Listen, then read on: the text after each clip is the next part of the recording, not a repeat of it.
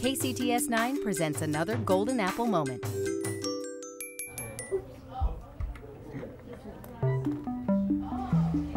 Science is full of theories, Pregnant scud. I found a pregnant scud.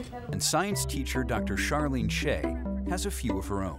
You can do it, just be careful. She believes that if kids think science is cool, they stay engaged.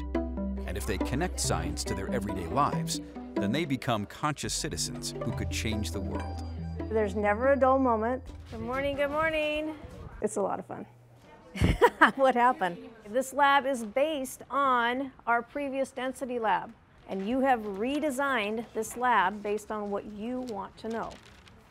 Be mindful of your measurements. Last time we did 10 milliliters of water, and we get to choose the amount that we change. Um, I changed it to 5 milliliters. At the beginning of the year, I always ask them to do two things. And one is to always try whatever we're doing. And then the second is to have an open mind. My hope is that by the end of the year, they move from really not liking science to knowing that science is fun. Please be very careful. Walk slowly. In 2009, an opportunity arose to turn a campus drainage basin into a living laboratory, and Shea jumped right in. Working with staff, students, and community, invasive plants were removed, native trees and shrubs were planted, and Gaiser Pond was born. Make sure you are getting both close up and full pictures of your plant. January, we are going to be going back through these pictures and doing a lot of analysis, so you need to have this. I'm measuring it to see how much it's grown. Students monitor water quality by taking samples once a month during the school year. What is the uh, chemical?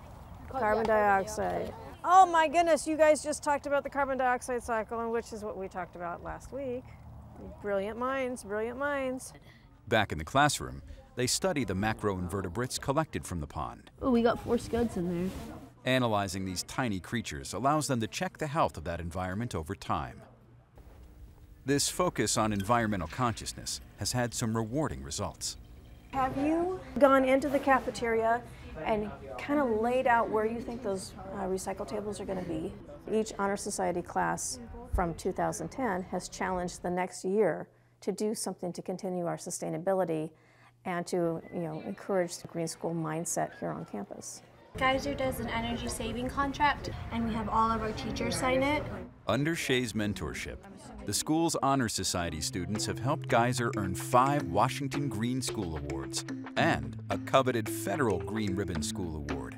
I have very high expectations for my students. Excellent. Nicely done. Very nicely done. And to me, the greatest thing that I can do is make sure to give experience, opportunity, and let them know that they, they have the challenge within themselves to go wherever they choose to go. Yes! Excellent.